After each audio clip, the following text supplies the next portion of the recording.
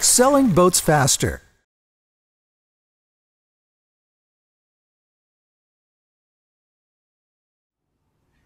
Hello, I'm Suzanne from Boatshed Medway. Today I'm having a look at a lovely Sealine S28 Bolero.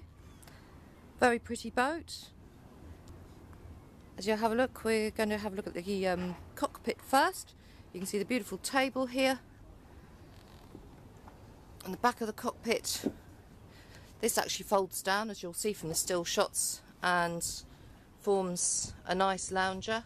There's pillows currently located in the um, aft cabin. On the port side you see a nice lounger chaise longue style very comfortable. Here we have a wet bar with storage underneath. There we have a manual bilge pump and door to the cockpit we have a bathing platform on the back there's also hot and cold water for the shower.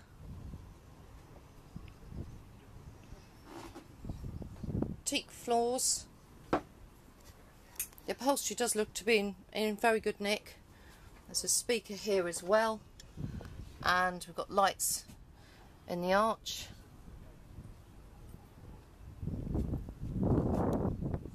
Moving forward to the helm position. Lovely seat you can have a companion sat down with you if you so wish. And we'll have a quick look at the navigational um, equipment. A jolly decent size Garmin GPS.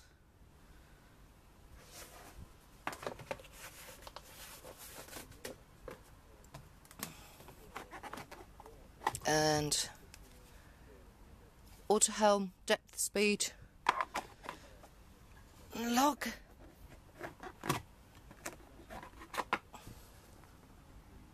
And your SD 6000 auto helm. Here's the helm the ship's wheel. Morse controls.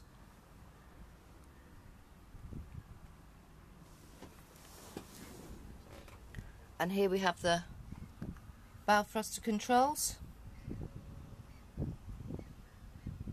And obviously the dashboard with your various dials ship's compass as well. Nice area for your proper paper charts.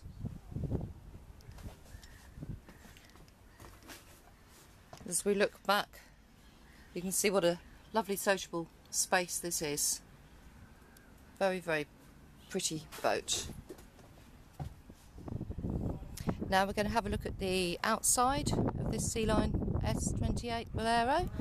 Um, she's got quite good sized side decks given the size of the actual boat and they've got a non-slip surface as well.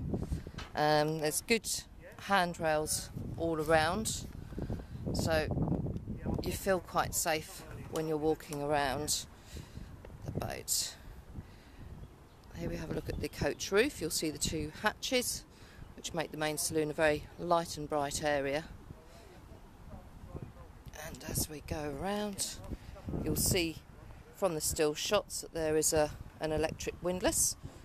And here is the large anchor locker.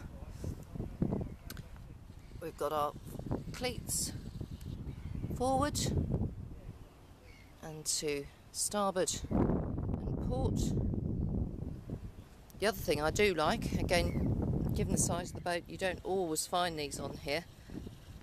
Um, there's actually some midship cleats as well.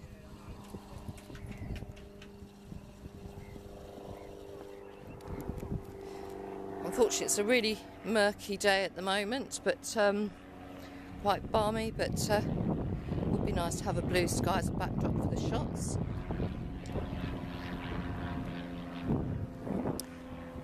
Turning around looking back.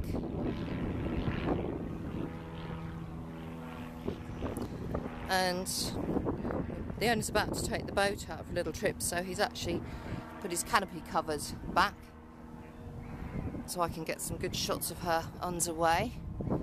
And we can have a quick nose at the cockpit from the coach roof position and you'll see it's a very good size and nicely proportioned. Now we're going to have a look at the interior of this Sealine. I must say I'm really struck by how large this saloon area is which obviously converts down to a very generous double berth as well. There's some lovely wood veneer and you've got windows all around which open and obviously allow lighting. Furthermore, we've got two hatches, one of which has got the cover off at the moment, and the other one has got its cover on. Plenty of storage space. I think that's a Victron, a Victron Energy battery charger there, the inverter.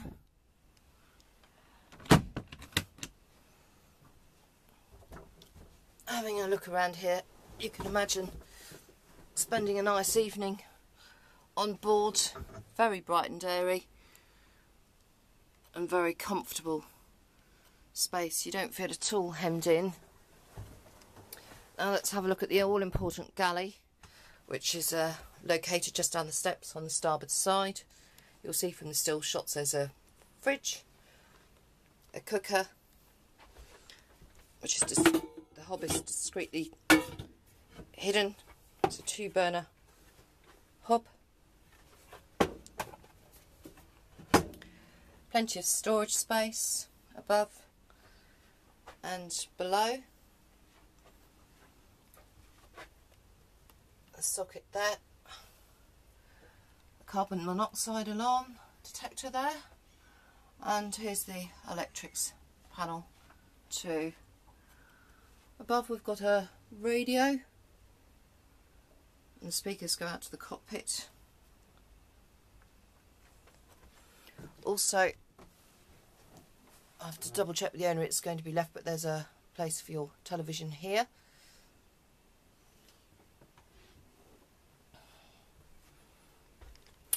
Furthermore, there's more storage just under the flooring here. There's a very large locker, as you can see. On the port side, we have a decent sized heads. Note the heads is accessible via the aft cabin as well. We have a sea toilet with a cover for when you're having a shower. Wash hand basin with shower attachment cupboard below and cupboards for your toiletries here and a window which opens. Now we're going to have a look in the aft cabin. You'll see from the still shots it really is a decent sized double. Got plenty of lights, sorry, windows and it really is comfortable. A lovely backrest there. As I say, a really decent sized double you certainly won't feel like you're claustrophobic in here. It really is good. And it all looks in really good nick too. It doesn't smell at all mildewy, which I think is very important, certainly for us ladies. And you've got the doors I mentioned earlier, which gives you access to the heads a storage cupboard and a little unit there. All in all, a really well presented boat I think, in lovely condition and uh, fantastic for a couple or a family. Right, we're going to have a look at this Sealine on the water now and this part of the Medway unfortunately we can't go that fast so she's just having a little whiz around so I can take some nice still shots of her.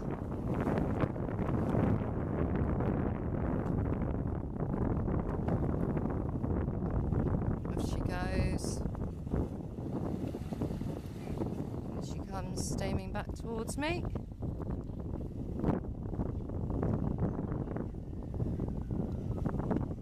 Pretty looking boat.